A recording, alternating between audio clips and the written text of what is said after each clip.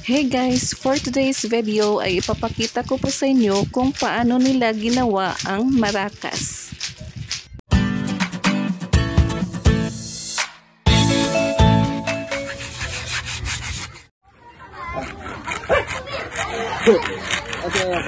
So, sa sunod na mabuhatan kay kanang amo siyang kanang Ikat. i-cut into half para para ng makakuha makuha ko ng sulodaan then magbutan din mi kanang kuad mga small nga mga bato like ingani gid akon and Yes.